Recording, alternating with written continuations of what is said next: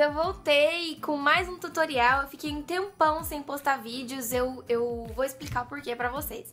Eu tava estudando bastante, era pré-vestibular, então eu resolvi focar um pouquinho mais nos meus estudos, mas eu já tô de volta. Vou postar um vídeo por semana a partir de agora pra vocês. Antes eu tava postando um vídeo a cada 15 dias, mas agora já tá tudo tranquilo, eu já tô bem mais tranquila com os meus estudos. Então eu vou conseguir postar pra vocês toda semana agora. E o vídeo dessa semana é essa maquiagem de Natal. É, eu fiz com olho dourado, boca vermelha, que é, é o jeito bem clássico de maquiagem de Natal. Espero que vocês gostem. Se vocês quiserem deixar um pouquinho mais claro, é só colocar um marronzinho mais claro. Se vocês quiserem deixar um pouquinho mais escuro, é só colocar um pouquinho de preto ou um marrom mais escuro. É, e é isso então, gente. Espero que vocês gostem e vamos lá começar. Bom, gente, vamos lá então. Eu já tô com, as, com o olho feito e as duas sobrancelhas já estão prontas, tá? Eu já tenho um vídeo aqui no meu canal explicando como eu corrijo minhas sobrancelhas. Se você quiser ver, é só clicar o link aqui embaixo que eu vou deixar tudo certinho aqui embaixo.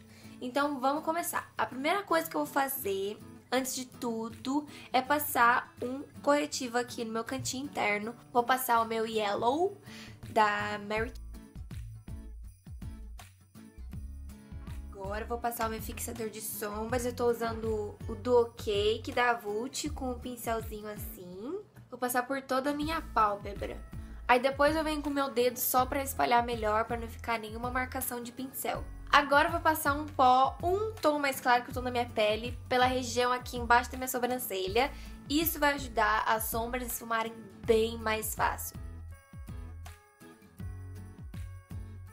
Sombra que eu vou usar vai ser um marrom bem clarinho, com um tom mais quente, com um pincelzinho de esfumar com topo reto. Passa por todo o côncavo.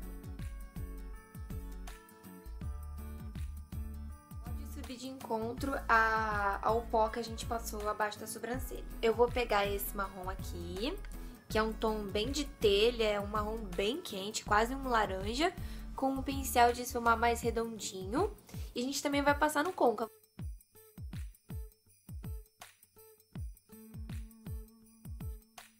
Lembra sempre que o esfumado é como movimentos de vai e vem, movimentos circulares, com pouquinha pressão no pincel e sempre pegando aqui no finalzinho porque daí sua mão vai estar tá bem mais leve, você não vai apertar tanto o pincel na sua pálpebra. A gente vai para a próxima cor, é o MA02 da Vult, com o pincel de esfumar um pouquinho mais chatinho. Esse tom de marrom, coloca aqui no canto externo e leva só até metade do olho.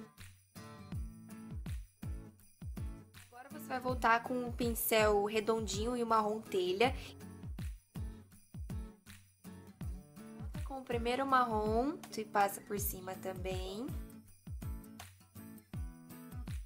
Vai agora para pálpebra. Vou voltar com o meu fixador de sombras que, tá no que tem restinho aqui nesse pincel e vou só passar aqui. Daí com o meu dedo mesmo, eu dou batidinhas para ele espalhar melhor. Eu vou usar o quinteto de sombras número 3 da Fenza, que tem esses tons de dourado. E a primeira cor que eu vou pegar vai ser uma batidinha desse e duas desse. Esse aqui do meio.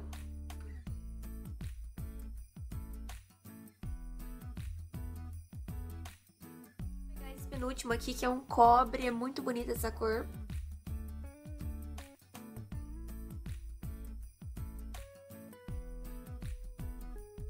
Por último, eu vou pegar esse marronzinho aqui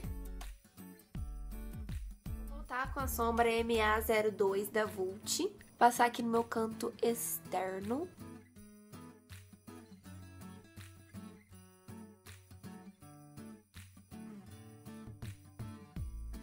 Dar uma iluminadinha no meu cantinho interno, eu vou pegar só a sombrinha branca com o pincel lápis.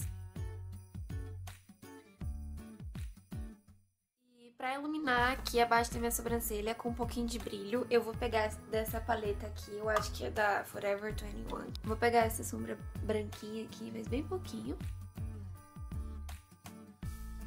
Delineador de gatinho e para isso eu vou usar meu minha caneta delineadora da Talk de Natureza.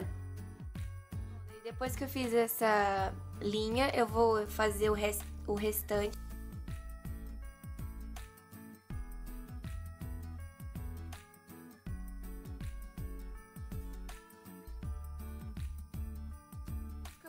hoje é esse aqui.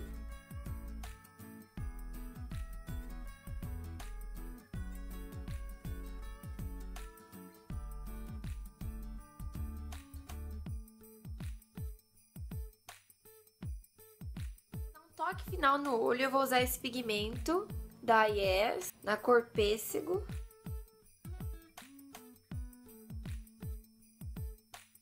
Gente, a parte de cima do olho tá pronta, agora a gente vai fazer a pele. Daí eu vou pegar um corretivo da cor da minha pele, vou passar nessas marcas maravilhosas. Como o meu corretivo da cor da minha pele não chegou ainda, que eu já fiz pedido, eu vou misturar o bege 1 da Mary Kay com a cor, a cor de base bronze, bronze 1.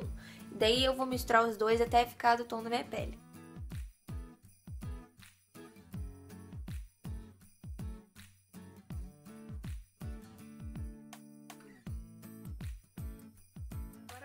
Misturar a base bege 6 com bege 3 e vou passar no meu rosto com o pincel Cabu.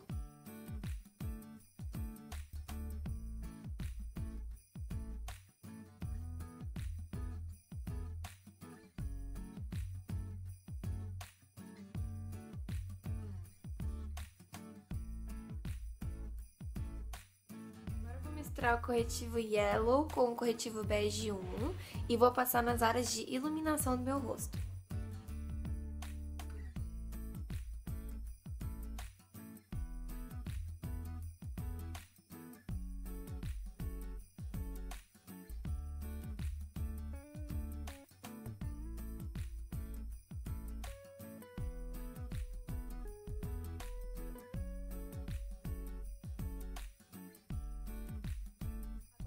Espalhado, a gente vai selar todo esse corretivo com um pó translúcido. E quando nós formos aplicar, a gente vai deixar com bastante excesso, que em inglês é chamado de baking. É, essa técnica era usada, é usada até hoje pelos drag queens, e os maquiadores descobriram que faz a maquiagem durar muito tempo e deixa com acabamento muito profissional.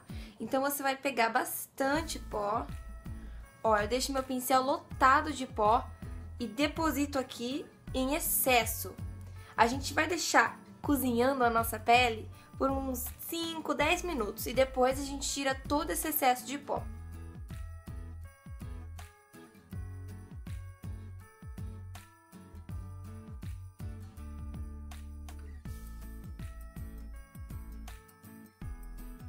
contorno eu vou utilizar meu pó bege, um da Mary Kay, com meu pincel chanfrado.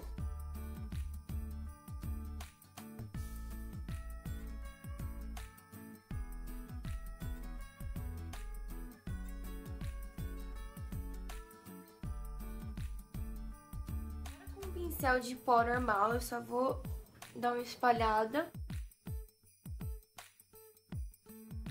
De blush eu vou usar esse aqui, que é o Duo, da Miriam Dor, é o Duo número 1. Ele é mais bronzeado, eu vou pegar os dois lados e vou passar na minha, na minha maçã.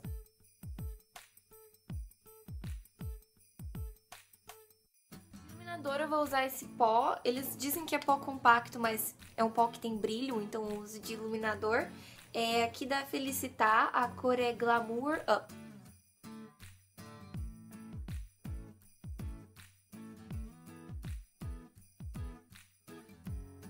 Agora a gente vai finalizar o olho com a sombra MA02 e um pincelzinho chanfrado.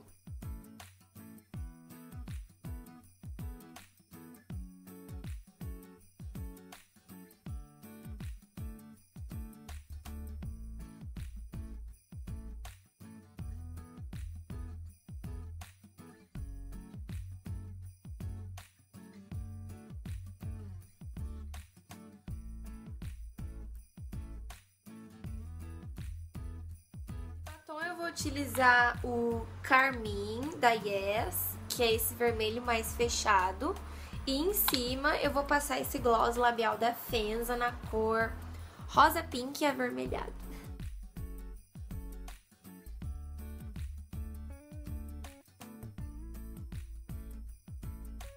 Então, gente, esse resultado final eu achei que ficou lindo, maravilhoso. É, na minha opinião, Natal tem tudo a ver com dourado e batom vermelho, mas Se você achar que ficou muita informação os dois, você pode com certeza colocar um batom nude. Se você gostou do vídeo, não esquece de clicar no joinha pra mim, não esquece de se inscrever no canal, não esquece de deixar seus comentários, sugestões, de curtir minha página no Facebook, Julia Klaroski Makeup, e o meu Instagram, Julia Klaroski Underline Makeup. Eu sempre tô postando fotos lá de maquiagens, então espero que vocês gostem. Então é isso, gente, até o próximo vídeo, meus amores. Tchau!